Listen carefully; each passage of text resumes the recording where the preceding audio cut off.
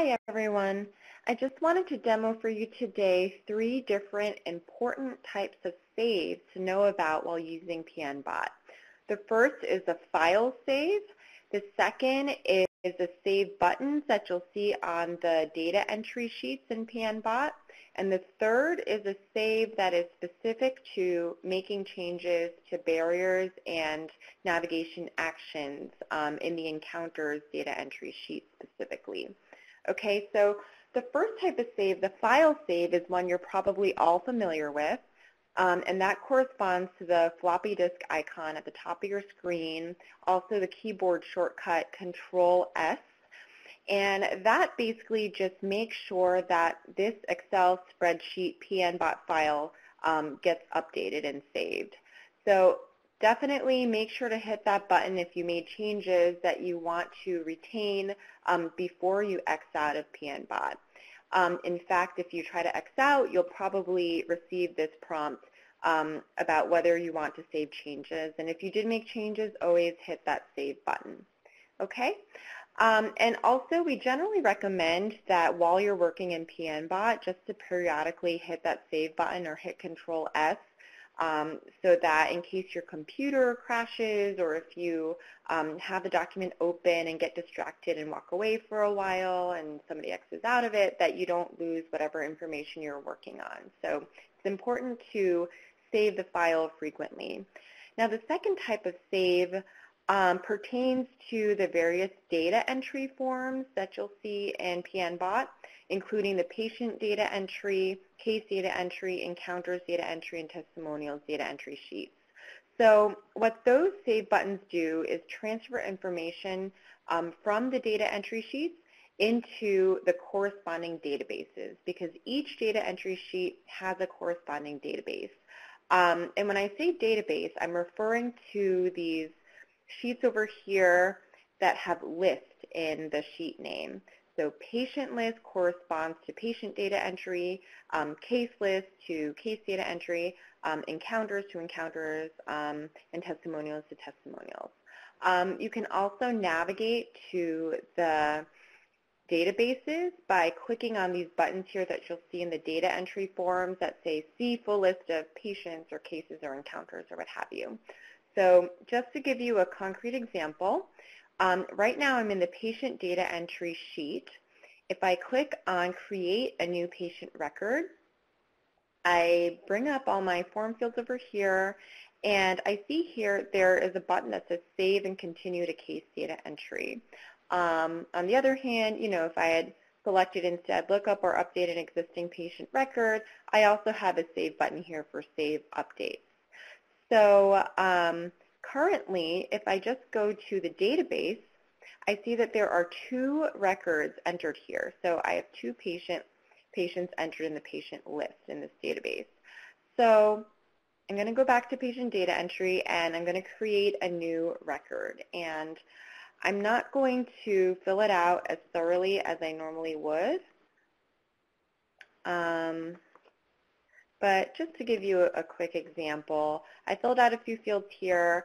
Um, before leaving the sheet, before Xing out or doing anything else, if I entered information here that I want to save, I definitely want to hit this save button. It's not enough to just save the file because that would just make sure that this information here gets saved in this data entry sheet, but it doesn't ensure that it makes it into the database. So the next time somebody um, tries to look up another patient record or clears out this form, this information would get lost if it didn't make it into the database. So clicking the Save button will make sure that it makes it into the database. So I'm always going to receive some kind of confirmation that the save was successful. So I'm going to go ahead and click OK. Um, and similarly, for the case data entry sheet, um, I'm not going to go through and fill out all the fields here, but I also have a save button that I really need to hit to make sure that um, the database gets updated. So how do I know if my data from the data entry sheets made it into the databases? I can always click on the buttons that go to the full list or the databases, and I'm going to click on that for case lists. And I see here that the entry that I just created for Serena Phillips made it in here successfully, so I know that save was successful. Um, and similarly, for the patient data entry sheet, I can click on See Full List of Patients, and before we only had two entries, I see here the third one that I just created, so I know that that save was successful. So you'll see those save buttons um, definitely in all of the data entry sheets throughout PNBot, and you know, you may navigate across sheets, but it's always really important to not forget anything that you entered in a data entry sheet that you want to save. And it's always a good idea to just hit that save button before navigating away if you think you'll forget to do so later. Um, I just want to show you real quick in the encounters data entry sheet. Um, I'm going to click on add a new encounter here to bring up my form. I won't go through everything that you know you would normally fill out, but again, you see the save button here. So if I click Save, I again receive my prompt that the encounter was saved. I can again go to the encounters database by clicking on See Full List of Encounters and my entry for August 3rd, which is today, um, has been added to the list of encounters or the database of encounters. Okay, so that's the second type of save um, that's really important to know about. Always click that Save button when um, working in a data entry sheet, whether you're saving a new record or updates. Um, so the third type of save that I want to go over with you today is specific to the Encounters data entry sheet. Um, so I'm going to pull up a new record here. And the third type of save has to do with this barriers and services information table at the bottom of the form here. Um, so this table, we have a separate tutorial video explaining in greater detail how it works and what everything means. But this is basically meant to track specific barriers throughout the course of navigation. So if I were to create um, a new barrier by clicking on, let's say, care coordination and noting that this patient has, um, I don't know, maybe an end-of-life care need, um, I can click OK and that new barrier gets added here. I just want to draw your attention to the second column here where it says save updates for this barrier and it's highlighted in yellow and that's because it's really important because what this value is here, whether it says yes or no, will determine whether the information in this row gets saved to the database. Um, so any new barrier that you add will default to yes over here. Um, and that's because we assume that if you're adding a new barrier, you want to save that information. So um, I can add some actions. I can add a current status. Um, I can write myself some notes. And then, of course, I still want to go to the top over here, and of course I would have entered some other information for the encounter, and always hit Save. So that encounter was saved.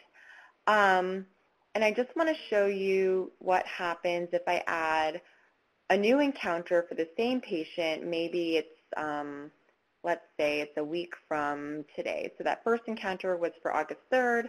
Maybe today it's actually August 10th now.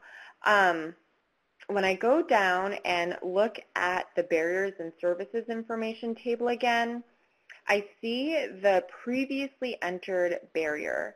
Um, and now, instead of yes, the second column defaults to no. And that's because we aren't assuming that just because a patient had a barrier that you had documented previously, that you have an update that you want to save about that barrier. So, you know, again, if I had added a new other barrier today, that I just identified during this encounter, it would default to yes. But this old barrier that was previously encountered defaults to no. So if I were to save this encounter, this new barrier that I just added right now, home health concerns, would get saved, but nothing in this end-of-life care needs row would get saved because um, this is really just a prompt or reminder for you. However, if you do have an update to save about your old barrier, um, end-of-life care needs. Like for example, if I did something new for my patient today to address the end-of-life care need, like maybe I um, provide a referral to a hospice professional and maybe the current status changed um, from being a short-term um, solution to something longer term or if I have additional notes that I want to add to here, um, I want to save those changes and note that these things happened during today's encounter on the 10th. So it's always important then to change this no to a yes if I made any changes to this row over here before going back and saving the encounter. Okay, so the changes to the barriers and actions you'll see in the barriers list database. So those changes were reflected here. Um, so my first entry documenting the date of encounter for August 3rd and the first time I identified end-of-life care needs shows up here in this row. And I can also confirm here in the barriers history list that um, for the entry that I just made for August 10th, I see here um, an entry for the new barrier that I just um, added for home health concerns, but I also see that end-of-life care needs has been um, updated. And the new action that I took has been added um, for August 10th and the barrier status has been changed from what it was before. And that's how I know that those saves were successful. So that second column in um, the encounters data entry table um, where you have the option to switch between no and yes is really important to also um, remember to update if you want to make a change to a specific barrier. Okay, um, so that's basically it. Um, it's important to know about file save, save buttons, and barriers and action saving for encounters data entry. Um, we do recognize how much work it is to enter data. We want to make sure that you don't lose your data and can save everything that you've spent so much time entering. Um, so we hope that helps. Um, thank you for watching.